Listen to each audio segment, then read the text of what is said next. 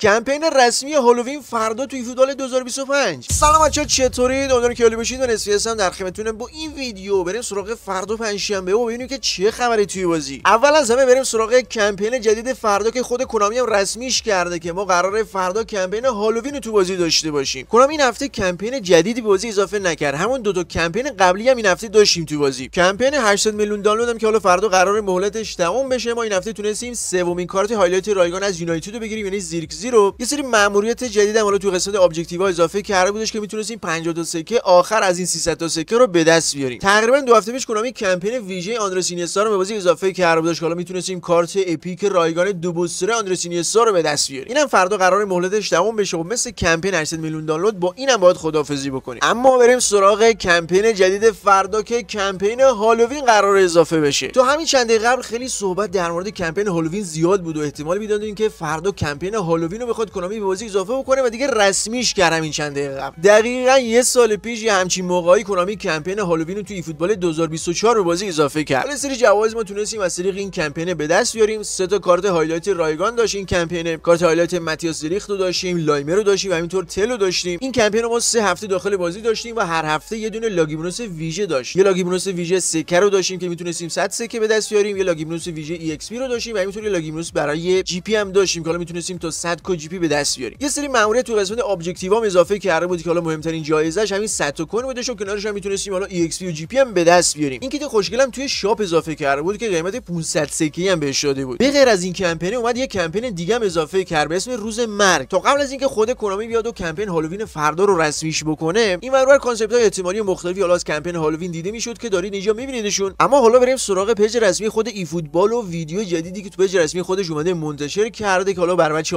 آرسنالی دور هم دیگه جمع کرده و گل کوچیکی اونجا با هم دیگه بازی کردن و دو دروازه اونجا گذاشته. خلاصه بعضی هم که گل کوچیکشون تمام شده چند تا امضا حالا ازشون گرفته از جورجینیو و کای هاورز و همینطور ژسوس آخر ویدیوش هم اومده و این تاثیرا رو گذاشته بالاش هم نوشته Halloween campaign underway سه تا کارت highlight هم پایین گذاشته دیگه جورجینیو کای هاورز و همینطور گابریل ژسوس این از highlight های رایگان کمپین هالووین فردا که مشخص شدن و احتمالا بتونیم هر هفته یکیشون رایگان بگیریم. تو page رسمی خودش اومده یه ویدیو دیگه هم منتشر کرده اونم درباره بازی مهم بارسلون و بایر مونیخ حالا اومده این ویدیو رو تو page رسمی خودش منتشر کرده. تو متن که برای پستش گذاشته کلمه دربی رو آورده. قبلا یادتون باشه ما pack های ویژه دربی رو داشتیم که کونامی اینا رو میومد به بازی اضافه می‌کرد. حالا اشاره خاصی که به این pack ها نکرده ولی ببینیم که دوباره می‌خواد توی فوتبال 2025 pack های ویژه دربی رو اضافه بکنه یا نه. یه سر بریم سراغ نیمار جونیور. توی ویدیو دیروزم در مورد صحبت کردیم و پستی که page رسمی خود فوتبال منتشر کرده در مورد برگشت دوباره نیمار به میدان. گفتیم حالا احتمالش وجود که ما یه کارت رایگانی چیزی از نیمار جونیور ببینیم فردا تو بازی. حالا اگه بخواد کارت رایگان بده دو تا احتمال وجود داره. احتمال اولیش اینه که بخواد کارت epic رایگان از نیمار بده. فردا که دیگه قرار مهلت کارت epic رایگان اینیستا تمام بشه و page رسمی خودش هم به نیمار تبریک رو گفته. یه خورده می‌تونیم احتمال بدیم که فردا شاید بخواد یه همچین حرکتی بزنه و یه همچین pack ی به بازی اضافه بکنه. pack بکاند پیج از نیمار اضافه بکنه که حالا کارت اپیکشو به اون بده و خلاصه از اینجور حرکت ها یا شاید هم بخواد مثلا با یه کارت هایلایت رایگان از نیمار جونیور سرتای قضیه رو هم بیاره.